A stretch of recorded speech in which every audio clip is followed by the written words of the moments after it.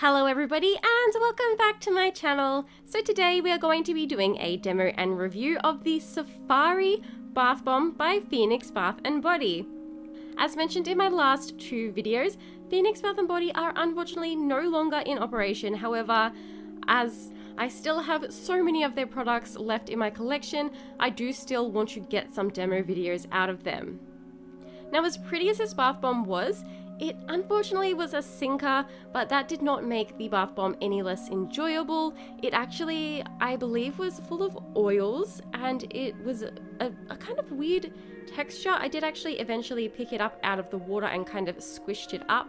Uh, just like I kind of do in almost all of my videos when I'm kind of impatient, kind of waiting for the last little bit to fizzle out because my bathwater actually gets really cold really quickly.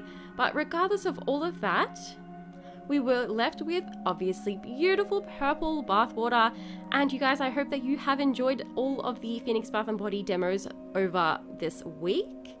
And if you have, then please do not forget to subscribe if you haven't already. And while you're there, why not click that little bell icon next to the subscribe button to be notified every single time that I upload a brand new video. And if you enjoyed this video, be sure to click the like button let me know in the comments down below what you'd like to see on my channel next. Thank you all so very much for watching and until next time, bye bye!